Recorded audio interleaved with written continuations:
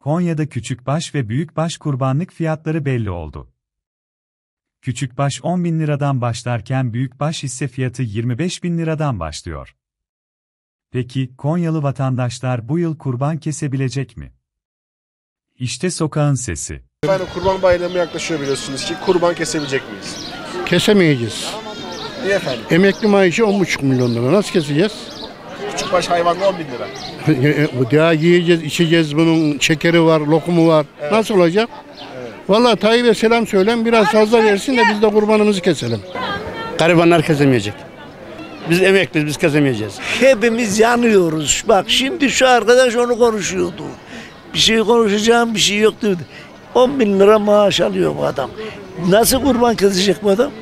Valla o zaman duruma bağlı abi. Zor. Kısa söyleyeyim 10 lirayı da verip kesmek zor. Cumhurbaşkanının kendine iletin bu haberi. Emekleri ne yapacaktı?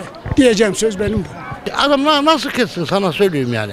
Ne yapsın adam? 10 bin lira maaş alsa 10 bin lira kurbana verse bir ay adam ne yiyip ne içecek? Ev kirası olmuş. En kötüsü 15 lira. Maalesef kesemeyiz. Zor. Zor mu efendim? Zor. Niye peki efendim? Çok pahalı ya. 20-25 lira diyorlar şimdi.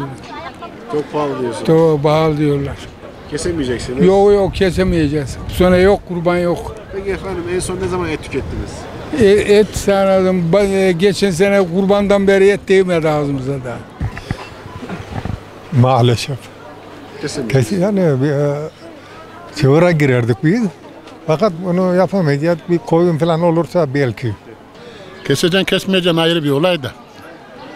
Şimdi şöyle söyleyelim. Bu millet zaten bildiğini aynısını satacak.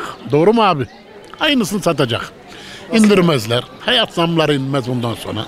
Yaşım benim 66. Bundan sonra bu hayat böyle gider kardeşim. Efendim kurban kesemeyecek Kurban kesemeyiz. Bu şartlarda da kesemeyiz. Yani 25 liraya bir hisse çok büyük para. Olan keser olmayan kesmez. Güzel kardeşim.